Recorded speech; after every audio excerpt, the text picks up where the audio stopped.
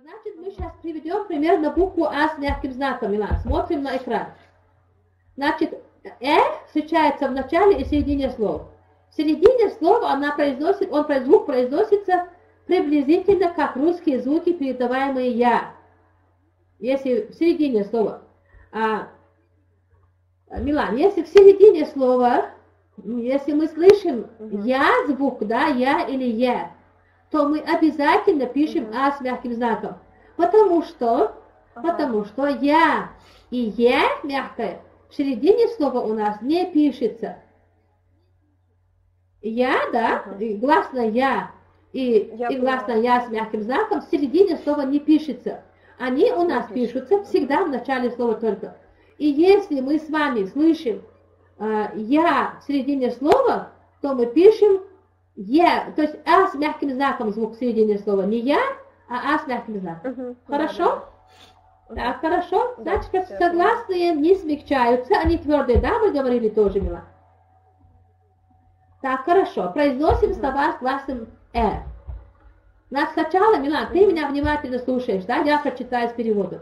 Потом ты должна будешь читать, хорошо? Так. Так. Эрт, эрт тупой, это значит, если эрт ус, да, ус, а, Милан, это нож, значит тупой нож, эрт ус, ага.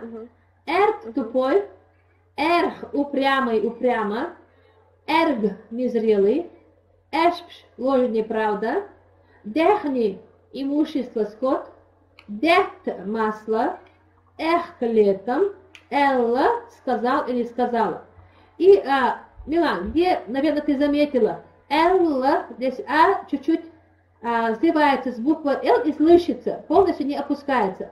Не опускается, потому что перед удвоенными согласными на конце А буква читается. Не полностью, но читается, она полностью не опускается. А где просто эрт, вот здесь видишь, Мила, эрт, эрт, эрх, эрг, эшпш, а где эшпш, да, мила, п и ш, а опускается, эшпш вот так. Дехни, ду, дехни, ду, дет, ду, эх, эл. Вот эти ду, что я добавляю, да, там, это классные показатели, которые здесь не дописаны. Так, значит, читаем. А можно я буду За мной, да? Хорошо, молодец. Конечно, сначала, правильно, сначала можно вот так. Эрт, Erg. Erg. Erg. Erg. Erg. Erg. Esps. Esps. Degni. Degni. Det. Det. Echt.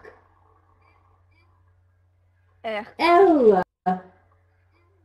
Elle. Молодец. Просто молодец. Отлично.